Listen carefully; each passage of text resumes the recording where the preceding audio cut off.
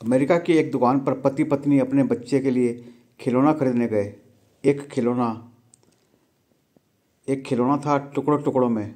उसे सही में जमाने का खेल था। टुकड़े जम गए तो खिलौना बन जाए। पहले पत्नी ने, फिर पति।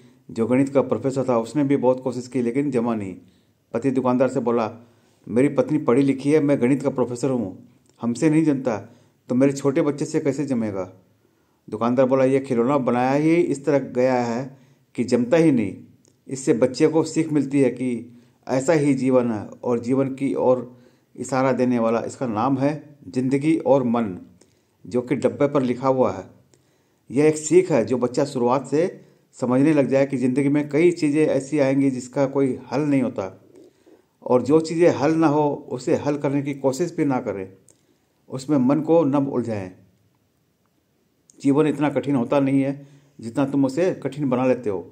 खुद को उन बातों में उलझाकर जिनसे तुम न जाने कितनी ही बार उलझ चुके हो, लेकिन कोई हल निकलता ही नहीं। और जब मन विचारों में उलझ जाता है तो तुम्हारी ज़िंदगी का वह समय बर्बाद हो जाता है कि तुम किसी बेहतर काम में लगा सकते थे, कुछ सृजन कर सकते थे, और कुछ नहीं तो मौज मस्ती में लगा सकते थे, जिससे कि मन तरोताज़ा रह सके। लेकिन नहीं तुम बार बार वह खिलौना लेकर बैठ जाओगे सुलझाने के लिए, जो अभी तक सुलझा ही नहीं और न ही कभी सुलझ पाने की संभावना है। मन को विचारों में जितना उलझा रखोगे, मन उतना उलझा और भारी रहेगा। साथ ही ज़िंदगी भी। मन को विचारों से जितना हल्का रखोगे, मन उतना सुलझा और हल्का और ज़िंदगी भी हल्की रहेगी। आचार्य रजनीश जी ओसो जी द्वारा रचित।